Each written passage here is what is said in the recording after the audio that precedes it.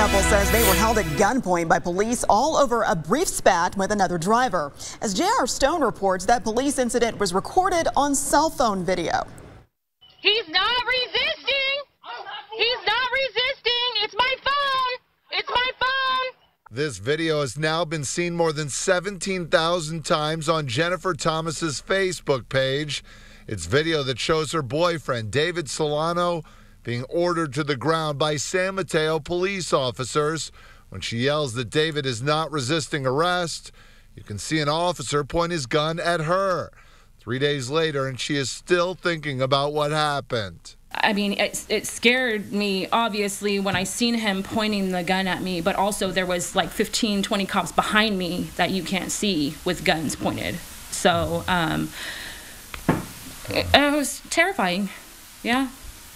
The couple says everything started when they were traveling to Safeway to get food for their children. David honked at a car in front of them. The man inside pulled out his phone and started taking pictures of their car. David pulled up beside him. There was a brief argument, and the two drove off. It appears the man who was honked at called police, saying that David had a gun and made a threat.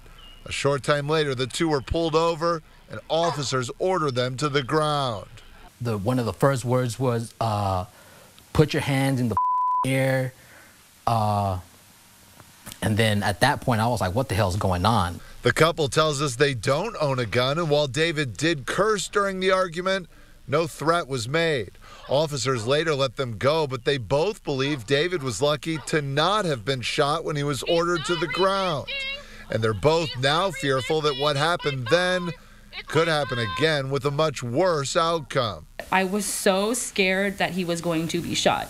I feel like I'm I'm a prisoner in my house because I can't go out and, and go buy my son uh, milk or diapers or either of my kids. We can't. I can't go out with my family in fear of being shot by a cop. Not being harassed. I feel like we could be shot by a cop.